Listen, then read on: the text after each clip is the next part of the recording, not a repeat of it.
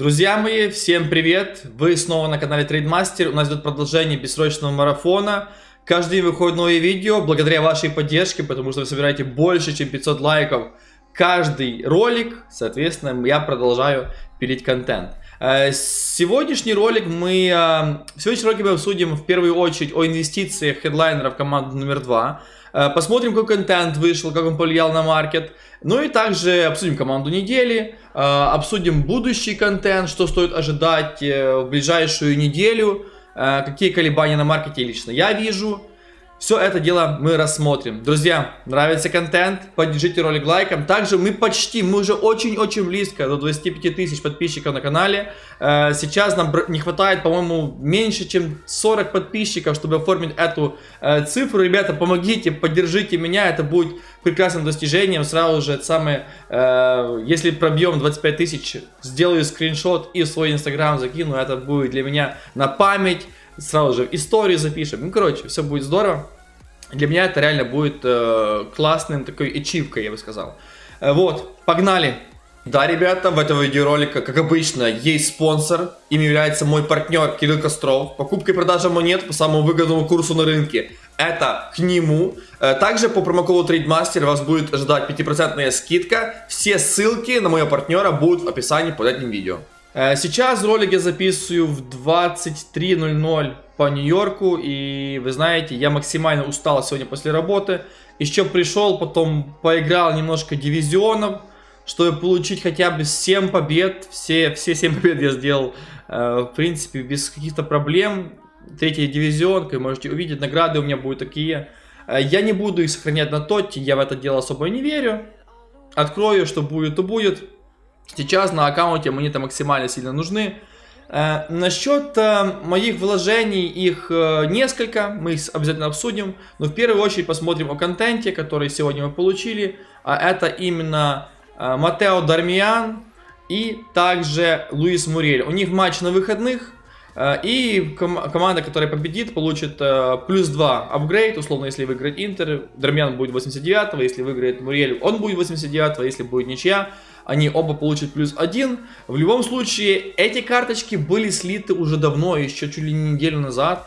Но никто не мог предугадать, что настолько хорошо им апнуть карточки, настолько эти карточки будут хорошие. То есть все люди знали, они посмотрели, окей, Мурель, ну неплохо, Даймиан, ну неплохо, серия А, мертвая тема, да, никому не интересно. А в итоге их собирают. И собирают очень здорово. Э, почему я так думаю? Ну, все очень очевидно.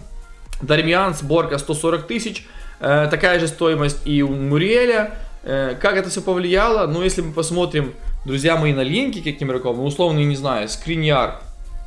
Вот, это как линк к тому же Дармиану. Он стоит 214 тысяч. Это много. Я понимаю, карточка редкая, все дела, но смотрите, все знали, что будет условно сегодня это СБЧ, но он был 160. Понимаете? И в моменте он взлетел был до 240. И как я вижу, он еще выше пойдет. Он, возможно, вернется до 240. Потому что реально людям это, это интересно СБЧ. Тот же Кьеза. Он тоже как Линк и к Дармиану. И также к Муриелю. 205 тысяч, это еще и скидка, наверное, надо поснайпить будет его. Хотя у меня денег нет, что там снайпить мне.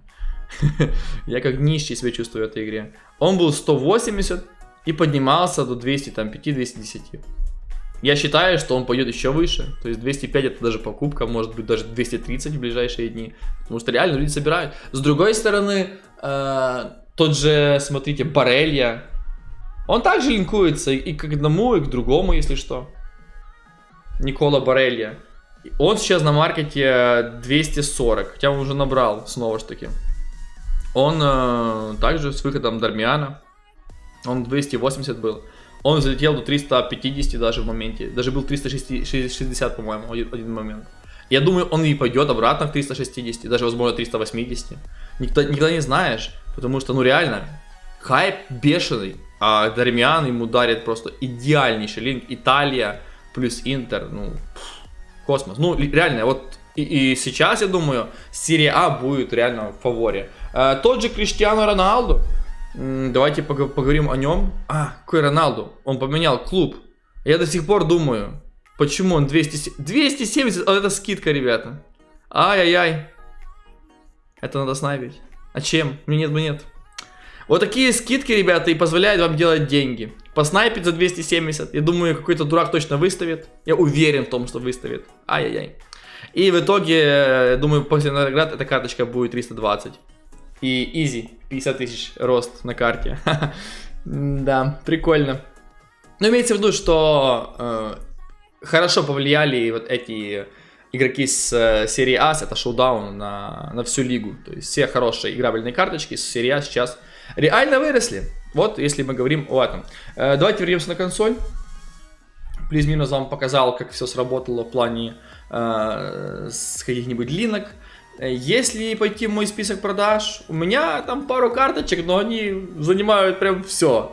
Э, вот, Маркиниус 220 и Тео 115. Мы еще об этом говорили раньше. Кому-то интересно, вот что я думаю по их продаже. Здесь надо идти в команду недели. То есть вы смотрите команду недели, тот же Тео Эрнандес Информ, как я говорил, минимум 250 будет. Он 310. Ну, он был 280, 275 в моменте. Э, а вторая версия, ну, намного дешевле. И он уже 124. Я лично ожидаю, что эта карточка пойдет в диапазон 140 даже, 135. Почему? Потому что эта версия слишком дорогая, и эта версия, я думаю, особо проседать не будет в ближайшие дни. Почему? Потому что я думаю, все люди, которые получат награды за дивизионы, все люди в адеквате, они будут собирать и хранить эти, эти а, паки на тот ивент. Так делают почти все ну, я неадекватный, соответственно, я паки открою, потому что мне нужны монетки здесь и сейчас, чтобы продолжать трейд, инвестировать. Но мыслят люди именно так, что они окей, получили награды, что там ловить, особо нечего, давай-ка я подожду уже команду года. И это правильный подход, потому что реально, ну, если вы не будете ничего сохранять, ну какой, какой шанс, что вы поймаете себе этого Тотти условно, так хотя бы у вас есть шанс. Тот же Маркиниус, э, его другие версии, видите, они 490, 480. Вы знаете, также, мне кажется, это Маркинис во время наград особо вниз и не пойдет. Потому что, ну, я не думаю, что это большой пак-опенинг. И вот этого Маркиниса, которого взял за 220, разница между ними x2, даже больше, даже чуть ли не вдвойне дороже. Я считаю, что этот э, Маркинис 240 должен пойти в ближайший день-два, потому что, ну, разница между информами, в моем понимании, слишком много. Я, я держу, пока вот он не пробьет ту стоимость, которую лично я вижу. Э, дальше, если мы пойдем и уже поговорим более конкретно, то давайте уже перейдем к хедлайнерам. Такая вот команда. Полностью все хедлайнеры, ребята, сейчас идут вверх. Почему? Потому что люди, люди, даже не люди, это не, не люди, конечно, но они э, патреоны, дискорды дают закупки этих карт уже. Это заметно, эти карточки уже набрали. До наград они очень сильно набрали в цене. Я думаю, что во время наград их стоимость еще может вырасти. Условный Кимих 125 мне нравится, потому что это Бавария. Кто не знает, эти карточки получают апгрейд.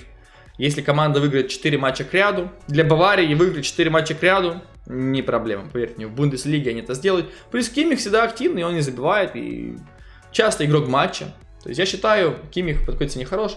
А, тот же для за 32 мне нравится. Воткинс за 70, 72 нравится. Ну, даже 72. Барелия 330, по-моему, это еще нормально. Этот Тиате ниже 80. Вот Тиате условный, да? Вроде бы обычная карточка, которая играет в Бол... Ну, он хороший защитник, но играет в Болонии. Болония 4 матча подряд не выиграет. Это Тиате он тоже особо, я не думаю, что он там претендует на информа в каждом матче. Точно нет, это не та карта. Но как Линк Дармиану, видите, вот потому и вырос. Потому он и вырос с 70 до 80.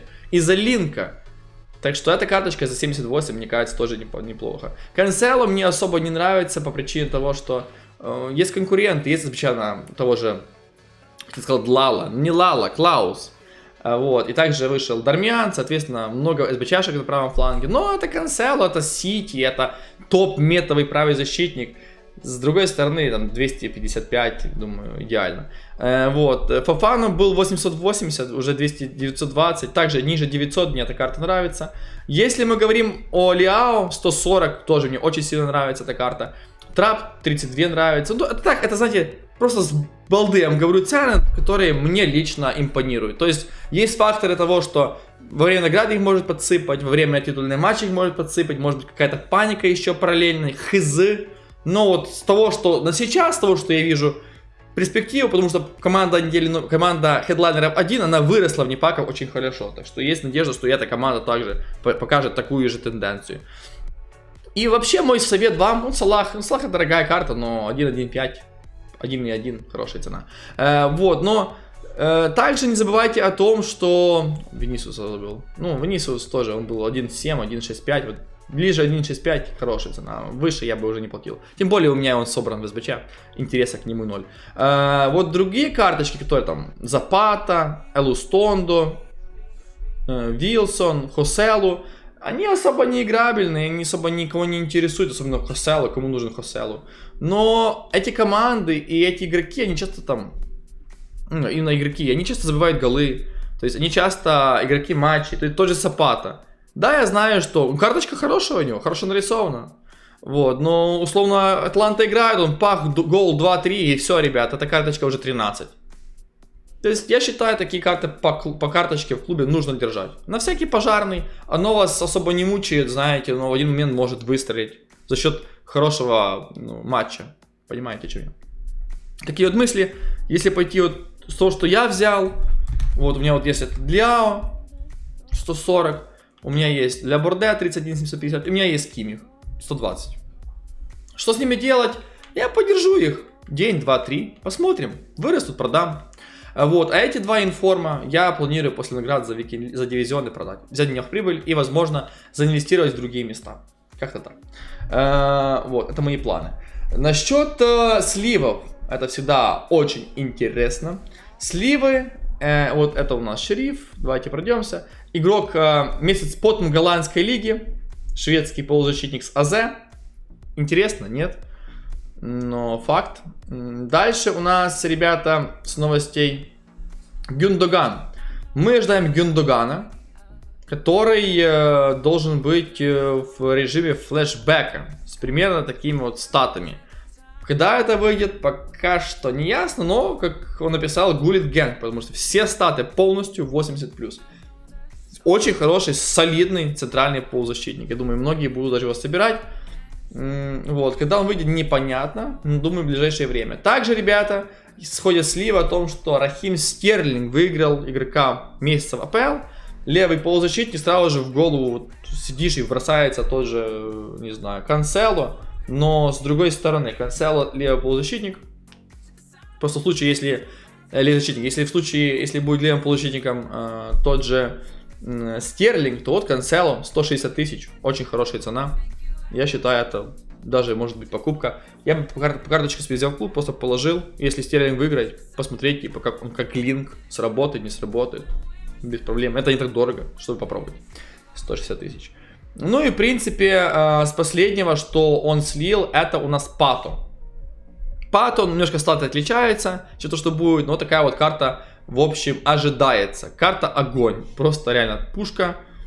Вот, одним словом, будем ожидать. Также непонятно, когда это будет. Одним словом, два флешбека к нам идет.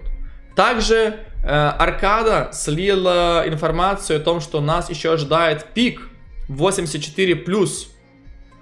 И вы знаете, такие пики часто сопровождаются рейтингом условно 82 2 информа или 83 и а, информ или 84 и информ. Одним словом, снова же таки, если вы видите дешевый, дешевый информа, если информа там снова же таки в какой-то момент э, опустится до 11 тысяч, это будет покупка. Потому что сейчас они все стоят по 13. По 12 это дорого. Вот 11 тысяч за информа это плюс-минус надежно. Вот. И другие информы также можно прикупить там по рейтингу, э, но я бы уже на это ориентировался ближе к окончанию э, недели. То есть, возможно, перед наградами за Squad Battles или во время награды Squad Battles я бы на информу обращал внимание максимально так конкретно уже. Но этот пик может выйти в любое время, то есть будьте к этому готовы. И насчет, ребята, СБЧ на пик кумира.